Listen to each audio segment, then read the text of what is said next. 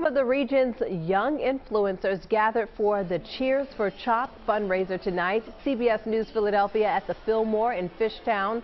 The event benefits the Department of Child and Adolescent Psych Psychiatry and Behavioral Sciences at Children's Hospital.